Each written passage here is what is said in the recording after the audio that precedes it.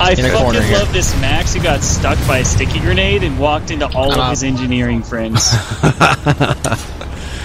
like, I'm not even mad. That was great. He's all thinking he can take it. I'm taking you with me. This won't hurt me that bad. My engineers got me. You can defuse this, right?